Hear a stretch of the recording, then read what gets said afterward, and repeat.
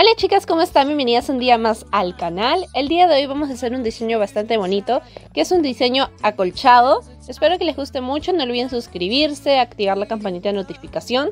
Mientras ustedes van viendo cómo me estoy poniendo mi guante, aprovecho de decirles que el día de ayer tuvimos un en vivo vía Instagram y muchas gracias a las que me acompañaron y se conectaron. Así que si aún no me sigues por ahí, puedes pasarte a seguirme. Y recuerden que tenemos que llegar a los mil suscriptores por aquí para poder hacer en vivos también vía YouTube.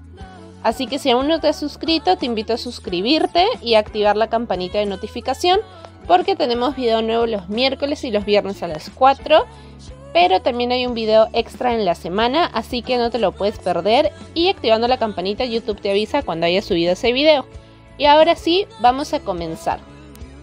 Lo primero que vas a necesitar es una uñita de plástico o una uñita de muestra si es que vas a trabajar en una de esas, pero también puedes trabajar en tu propia uñita, no habría ningún problema.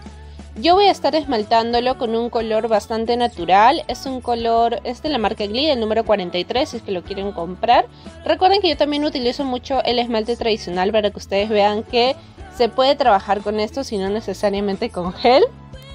Vamos a aplicar dos capas del esmalte tradicional y vamos a esperar a que seque. Si ustedes están utilizando un esmalte en gel, recuerden que tienen que mandar a curar la lámpara por 60 segundos.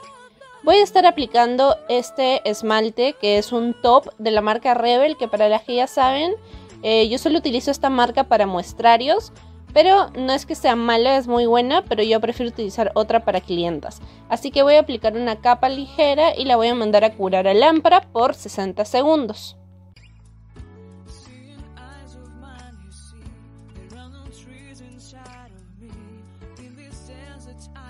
Una vez salido de lámpara voy a estar utilizando este tapetito, este pincel que es número 10 de la marca Kolinsky y es 100% Kolinsky, mi monómero de IBD y mi acrílico de IBD que es el Cover Pink. Voy a estar utilizando este, mm, este acrílico de este tono porque mi base es parecida a este tono, pero ustedes lo pueden hacer del color que, gusten, ya sea rojo, eh, rosado, el color que ustedes decían está bien. Vamos a tomar una perla no muy húmeda ni muy muy seca. Es como intermedio, pero sí es un poco más seca de lo normal. Vamos a tomar la perla y la vamos a colocar en la esquina. Si es que ustedes deciden hacer un diseño completo con esta técnica, lo pueden hacer así. Yo decidí colocar la perla en la esquina porque voy a estar haciendo un detalle un decorado distinto. Pero si ustedes quieren hacer esta técnica en toda la uña, van a aplicar el acrílico sobre toda la uña. Recuerden que esta aplicación tiene que ser casi perfecta porque no vamos a limar. Así que tiene que ser casi casi perfecta, lo más perfecta que ustedes puedan hacerlo, lo vamos a estar poniendo. Como ven lo voy a estar colocando en el lado izquierdo en la parte de abajo y voy a estar marcando muy bien como si fuera un cuadrado. Ya ustedes van a ir viendo cómo es que va a ir quedando este diseñito, así que les dejo viendo un poquito este video y ahorita nos vemos.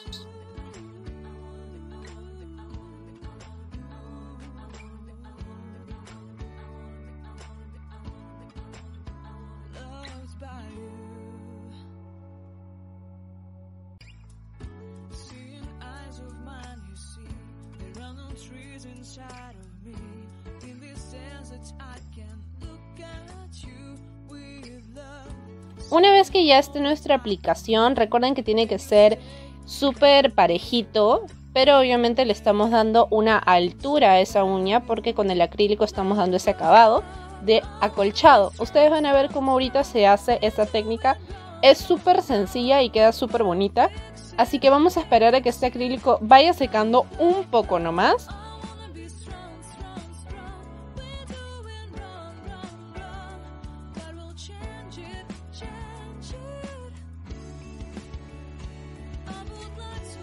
Limpiamos muy bien nuestro pincel para guardarlo y vamos a esperar a que esto seque. Si es que a ustedes se les secó mucho pueden ir mojando ese, ese pedacito de acrílico que han colocado con su monómero. Y ahorita voy a estar sacando un hilo.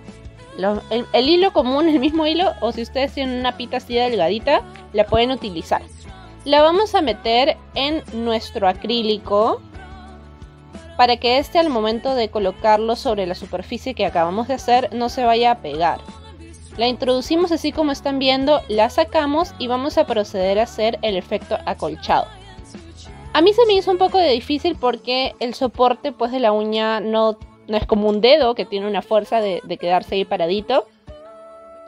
Así que tengan mucho cuidado si es que van a estar utilizándolo en esto, que alguien les ayude agarrando el, el soporte, si no. Y vamos a ir haciendo estas líneas Espero que ustedes puedan ir viendo en la cámara, tal vez no se aprecia mucho por el color, pero al final van a darse cuenta que sí se ve bastante bonito y, sí lo pueden llegar a apreciar.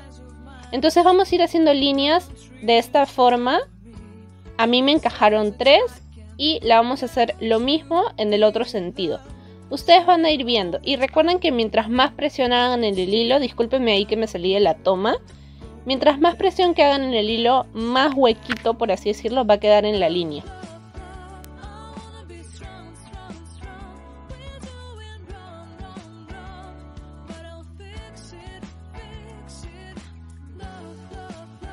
Si se dan cuenta ahí hice más presión y por eso la línea queda más marcada. Así que tengan muy en cuenta esto al momento de hacer ustedes su fuerza en el hilo hacia el acrílico. Les repito que el acrílico no tiene que estar seco, obviamente no se van a marcar las líneas, tiene que estar recién secándose para ustedes poder hacer esto y les quede súper bonito. Y este sería nuestro efecto acolchado, es súper fácil de hacer como han podido darse cuenta. Discúlpenme que me salga la toma en algunos momentos. Pero es súper fácil de hacer la técnica, es bastante fácil de hacer en realidad, chicas.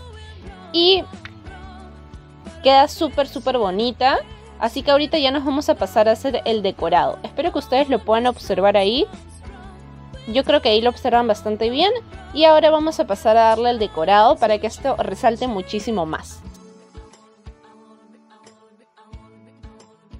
Vamos a estar utilizando un gel pasta. Si ustedes no lo tienen, pueden utilizar su gel, su gel, su gel painting.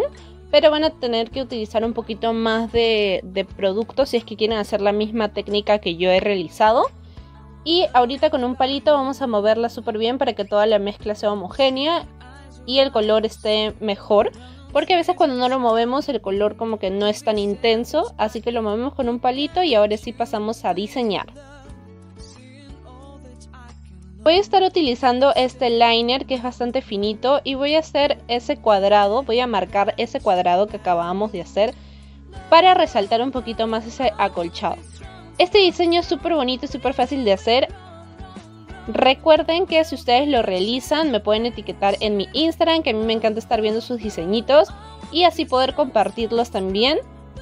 Si es que su perfil es privado chicas recuerden que me tienen que mandar mensaje a mi mismo Instagram porque así yo los voy a poder ver. Pasamos ahora sí a hacer el diseño. Este es un diseño en gel pasta. Si ustedes quieren un video de qué es el gel pasta, de cuál es su función, de cómo hacer un diseño en gel pasta, porque ahorita no les voy a explicar mucho cómo consiste esta técnica y cómo se hace para que dé ese relieve. Pueden decirme en los comentarios dejándome este emoji para así yo saber que ustedes quieren un video paso a paso de eso. Vamos a mandar a curar la lámpara y luego vamos a pasar a hacer un diseñito. Con un pincel liner bastante finito vamos a hacer un lacito. Es súper fácil de hacer, en realidad les voy a dejar a ustedes viendo el video porque es súper sencillito y no hay la necesidad en que les esté explicando.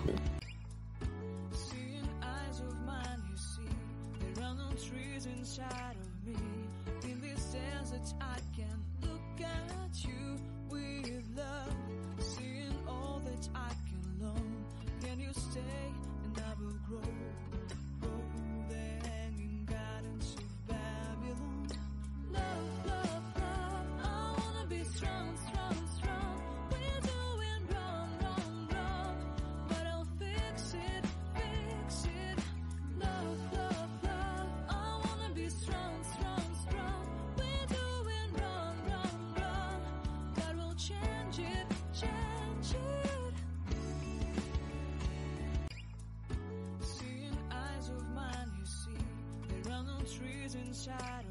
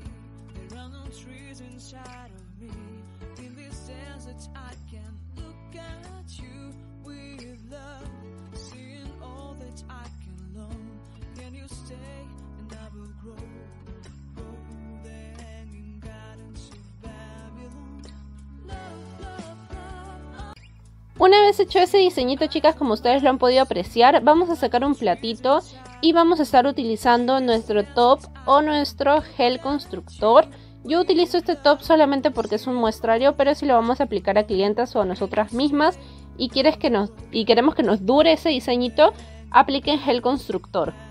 Vamos a estar utilizando estos balines. En la cámara se ve como un rosado intenso pero es un rose gold. Y lo que vamos a ir haciendo es que con un liner bastante finito vamos a ir tomando ese top y vamos a ir tomando un balín y lo vamos a ir colocando en el acolchado para darle ese acabado mucho más bonito y que se vea muchísimo mejor la técnica. Les voy a dejar viendo esta partecita que es súper sencillita de hacer.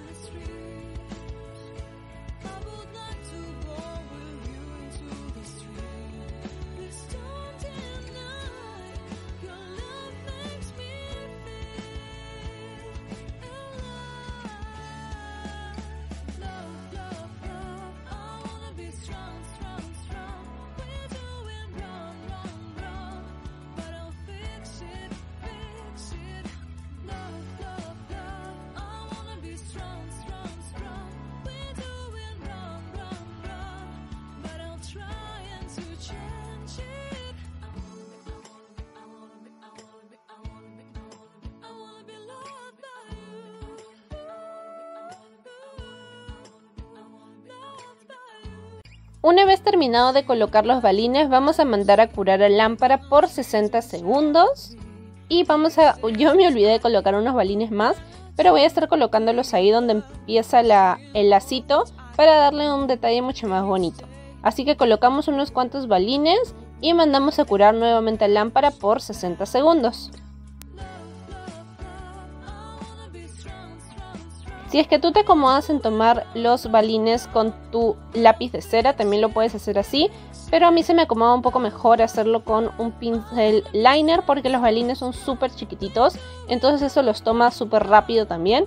Ya que el lápiz de cera es un poquito más ancho y puede que no llegues a tomar solo uno, sino que varios a la vez. Mandamos a curar la lámpara y este sería nuestro resultado final. Espero que les haya gustado muchísimo. Si es así, me regalen un like no olviden dejar su comentario y recuerden que les dejo mis redes sociales en la cajita de descripción. Tenemos que llegar a los mil suscriptores chicas para hacer envíos por aquí, así que no olvides compartir y suscribirte y nos vemos en el próximo video. Bye bye.